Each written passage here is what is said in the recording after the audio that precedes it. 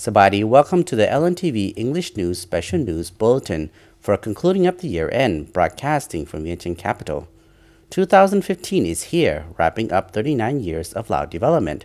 To welcome the 2015, we proudly present the year 2014 saw both opportunities and challenges for Laos, but on the whole, the country saw remarkable progress in socioeconomic development and poverty reduction despite complex global changes. Details with our news team in the special news episode on the year 2014 in review.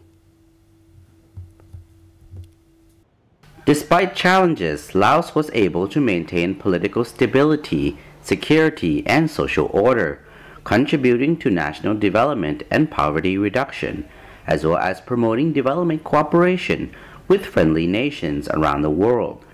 Preparations to join the ASEAN Economic Community in 2015 have picked up speed so that Laos can benefit from regional integration. Laos has a 12.79 billion economy and a population of 6.5 million people. Despite the uncertainty of the global economy, Laos expects economic growth of about 8% annually.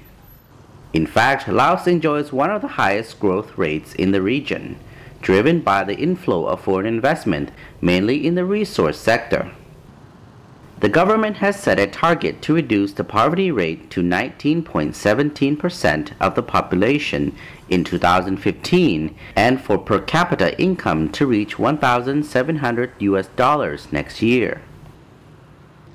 One of the main challenges for the government has been the revenue shortfall over the past two years, hindering economic growth and the rate of development.